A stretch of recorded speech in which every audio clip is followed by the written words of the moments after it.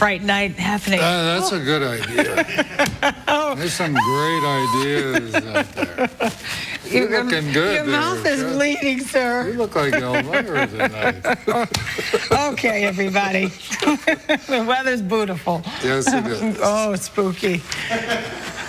We have a sunny day coming up tomorrow. Actually, tomorrow, temperatures in the mid 60s. So it's going to be a beautiful day out there. We do, however, have some rain showers expected Wednesday night and Thursday. We actually picked up some clouds this afternoon, but you'll notice most of those clouds have moved out. So it's it's going to be actually quite nice out there tonight. If you look out to the west, temperatures a little bit warmer than here in Chicago. So it looks like tomorrow we're going to be warmer than we were today.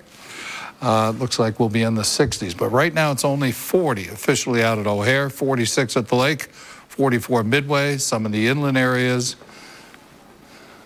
in the 30s. Right now the wind's south at uh, 3 miles an hour. The humidity 79%.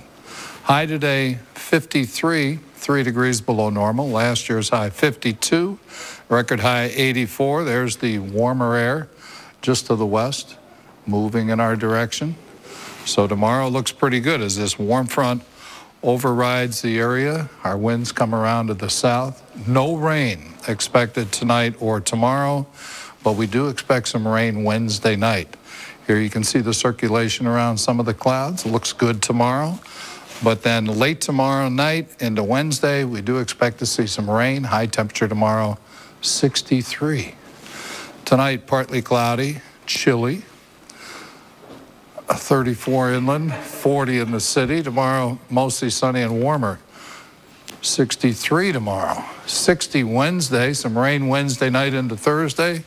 Also a chance for some rain Saturday night, Sunday. Look at Saturday up near 60. Actually, the weather looks pretty good Yeah, over the next Can't seven say that about you, though. You know, we've asked you before not to come out here without makeup. I don't. I think he had a fight with the makeup.